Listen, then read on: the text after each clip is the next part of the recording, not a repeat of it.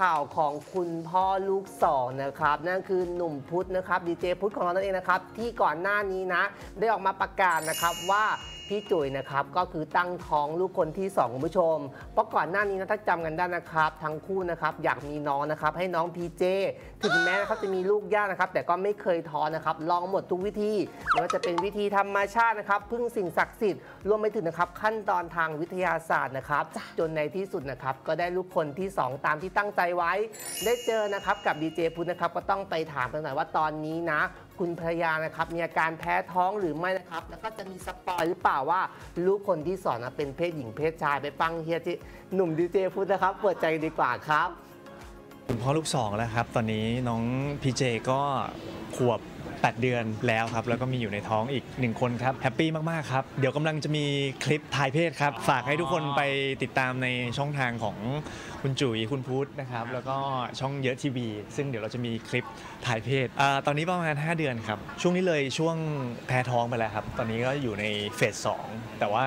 เฟสหนึ่งก็คือช่วง 3 เดือนแรกก็แพ้หนักเหมือนกัน แพ้หนักไม่ไม่แพ้ท้องแรกเลยครับ คราวนี้ก็อยากกินไอติมฮะท้องที่หนึ่งนี่คือเขาอยากกินไอติม ซึ่งเป็นไอติมที่ไม่ได้หาซื้อได้ทั่วไปอะไรเงี้ยมันต้องเป็นรสเฉพาะของเขาหรือว่ามีขายแค่เฉพาะบางที่ เราเจอปุ๊บเราซื้อไว้เลยแพ้ท้องเมื่อไหร่ปุ๊บอ่านี่ไงยักษ์คู่เตรียมไว้ให้แล้ว ก็พยายามหาได้เท่าที่เราหาได้ เพราะว่าผู้หญิงเวลาแพ้ท้องเนี่ยคือน่าสงสารจริงๆนะ แล้วเราก็ไม่รู้ว่าเราจะช่วยเขายังไงอะ กินก็ไม่ได้ ได้กลิ่นอะไรก็มันจะแบบมันจะตีออกมาหมดเลย เราก็เราก็เข้าใจอะเราก็สงสารเราก็อยากให้ผ่านแบบ phase แรกไปเร็วๆ เพื่อที่ว่าเขาจะได้แบบกินได้เยอะขึ้นอะไรเงี้ยแล้วก็มีแบบเวียนหัวบ้างอะไรอย่างงี้ด้วยครับลูกคนที่สองยากไหมก็คือ process เนี้ยเป็น process ที่ต้องเล่าอย่างนี้ว่าคือ PJ กับ ลูกคนที่2เนี่ยคือเป็นช่วงเวลา 3-4 ปีที่ที่เราอยู่ process เกี่ยวกับเรื่องของการเตรียมตัวมีน้องเก็บไข่อะไรเงี้ยครับมีตัวอ่อนแค่ 2 ตัวคนแรกก็คือน้อง PJที่ที่ได้มาก่อนเลยก็เป็นคนพี่แล้วก็เหลือ คนเนี้ยเจพี่เหรอโอเคช่วยกันตั้งชื่อได้นะ ตอนนี้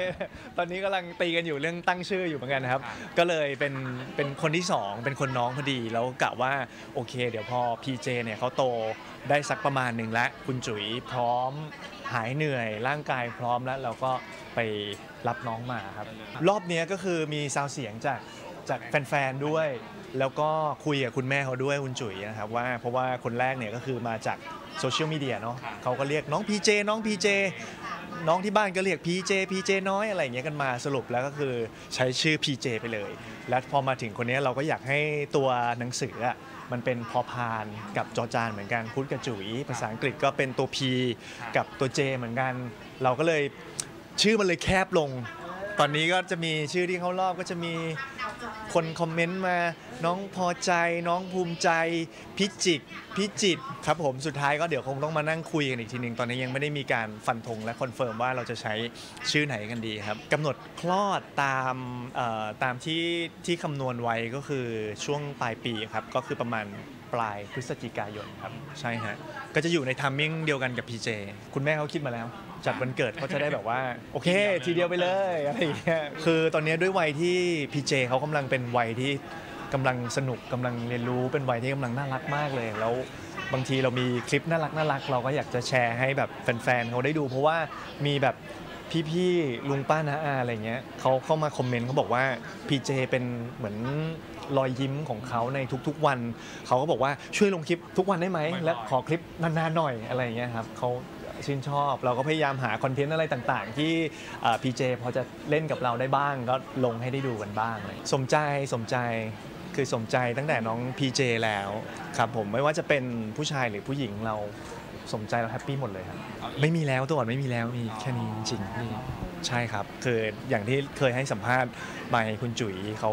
เอ่อมีเปอร์เซ็นต์ในการที่แบบมีลูกค่อนข้างยากมากอะไรเงี้ยครับอย่างที่บอกว่าไข่ตอนที่เราเก็บกันเนี่ยบางเดือนมันไม่มีไข่เลยอะไรเงี้ยครับอืมบางเดือนมีฟองเดียว มันต้องลุ้นหลายขั้นตอนมากๆอะไรเงี้ยนะคิดว่า 2 คนนี้คือแฮปปี้ละ